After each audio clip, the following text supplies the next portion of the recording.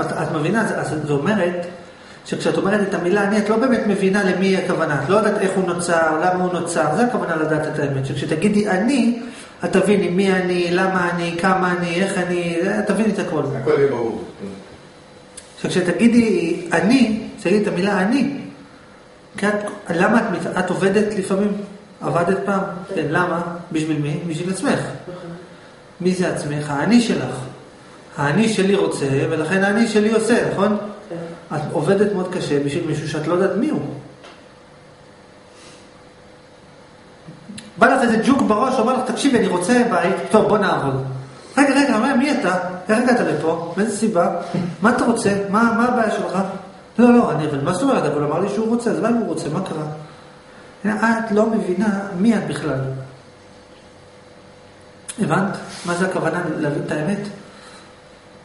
בפשיטות, שכשאת אומרת המילה אני, תביני למה את מתכוונת. אני זה נשמה שלי, ומה זה נשמה?